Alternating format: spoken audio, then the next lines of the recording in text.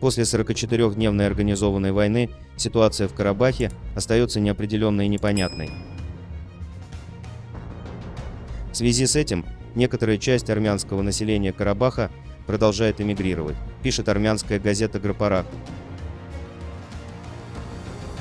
В статье журналист Арам Григорян отмечает, что большинство людей в Карабахе больше не верят, не доверяют Армении, не видят будущего в Армении.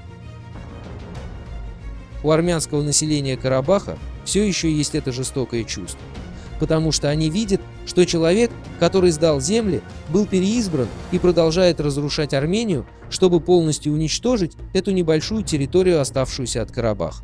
Когда карабахцы спрашивают у армян в Ереване, почему вы не избавляетесь от Никола, почему не наказываете предателя, нам отвечают, почему вы не наказываете своего Араика, почему вы держите его.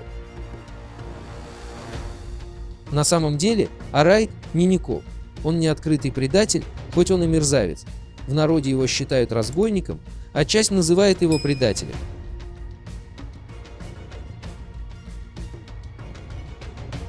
Пишите в комментариях, что вы об этом думаете. Спасибо за просмотр. Не забудьте подписаться на наш канал и поставить лайк этому видео.